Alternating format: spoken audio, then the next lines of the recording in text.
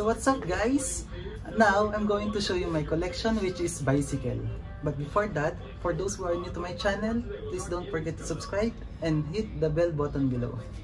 So first, I'm going to introduce you my kaagapay bike which is uh, Bruno Minibello. So tinatawag ko siyang kaagapay because this is my, the bicycle that I'm always using when I'm going to work and going back home. So for those who are always bike to work like me, just stay safe and drive safely.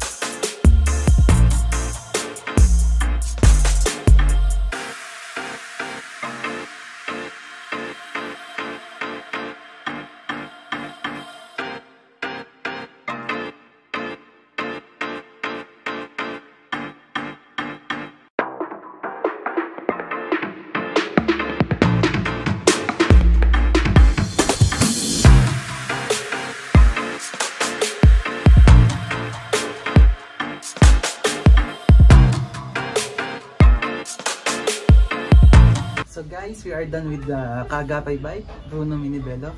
Next, I'm going to introduce you uh, Pinoy bike, which is uh, currently in the Philippines right now. I called it Pinoy because it's color yellow. And the bicycle is a uh, Strida.